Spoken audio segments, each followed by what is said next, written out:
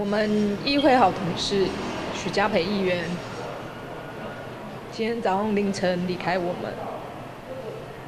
呃，他因为在今年年初的时候，发现他自己呃身体不舒服，然后去做检查，然后发现自己得了子宫内膜癌。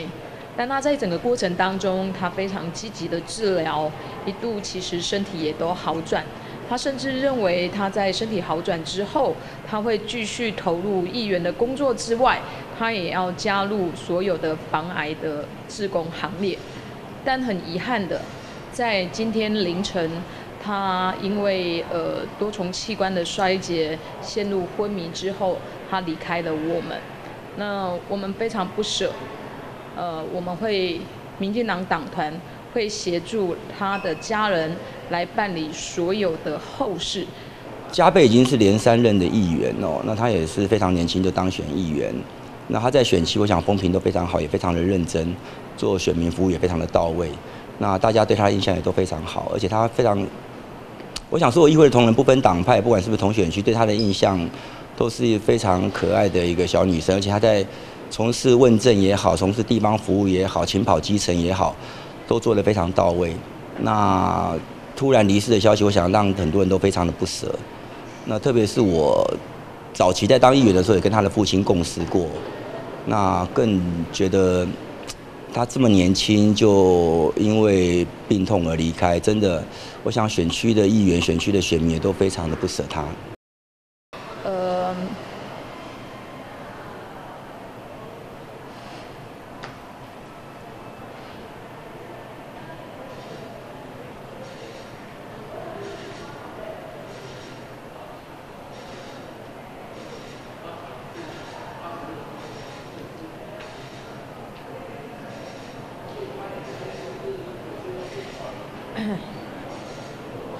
我们议会好同事许家培议员，今天早上凌晨离开我们。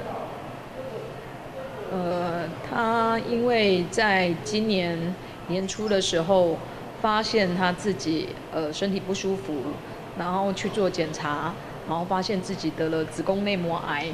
但他在整个过程当中，他非常积极的治疗，一度其实身体也都好转。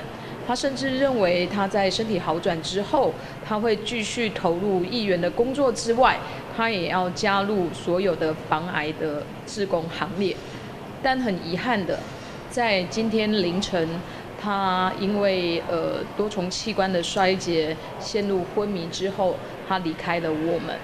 那我们非常不舍，呃，我们会民进党党团。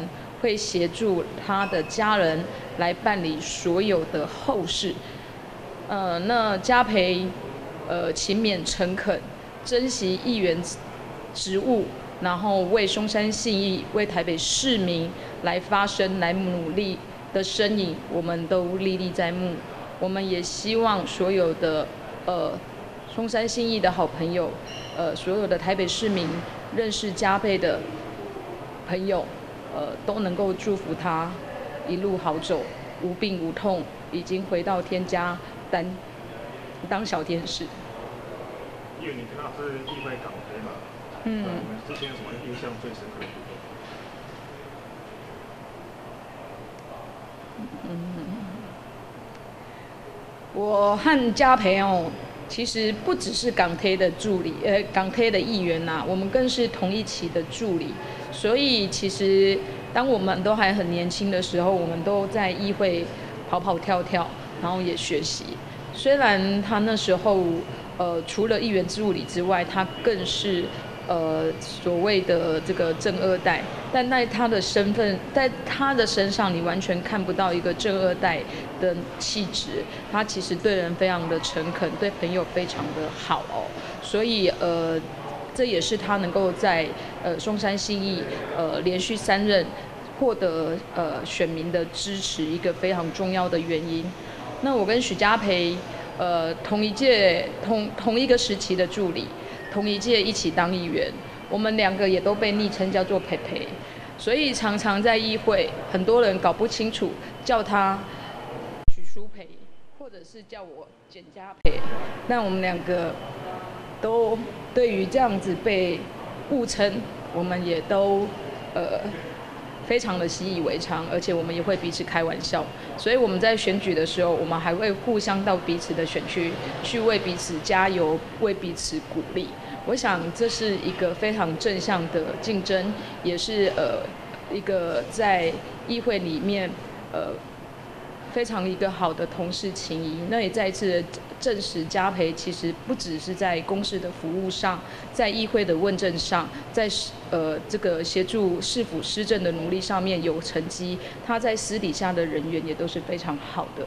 所以呃议会民进党党团，呃包含我，包含很多的议议员同仁，还有包含他咨询小组的成员，包含王敏生议员，呃陈慈慧议员。联络方议员、林彦凤议员都在这一段时间，其实都在他的身边陪伴着他。嗯。那想问一下，那因为许家飞议员他，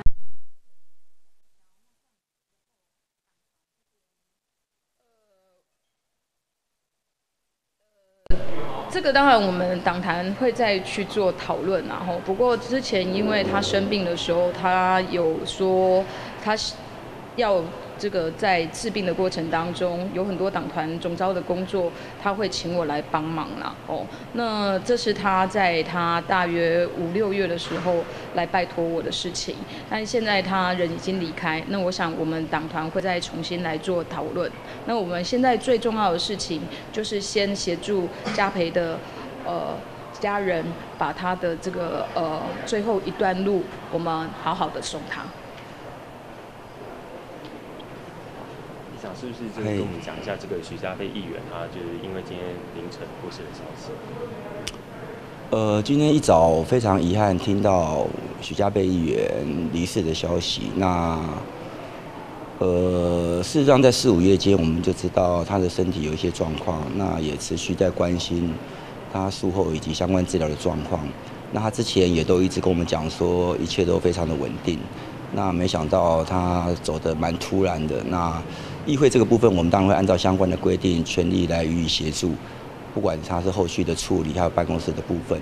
那我们也交代议会的各部门，全力来协助他办公室来处理后续的相关的事宜。那因为跟他是同个选区呢，平常跟他是不是有一些互动，对他印象？呃，加倍已经是连三任的议员哦，那他也是非常年轻就当选议员。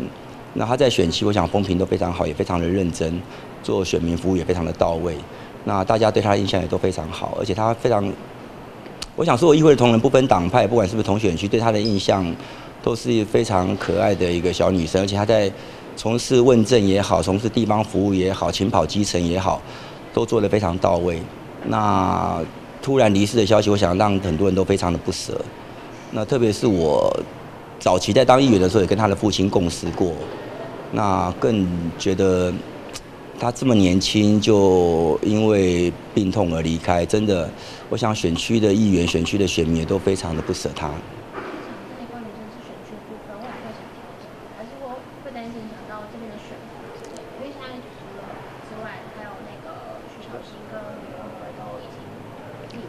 呃，这一次松信选区的确是比较特别，因为之前我们有两位优秀的同仁进军到立法院去，那么之前也有更资深的陈永德议员入阁去担任局长，那再加上这次加倍的事情，当然这个部分对松信的议员来讲，我们的责任也更加重大，必须要承担起更多选民服务的工作。但是我想，任何一个议员都会尽力的把自己的分内的事情做好。那所有中信选民该有的服务跟争取建设，我想部分党派，所有的议员都会尽力把这一块空缺给填补起来。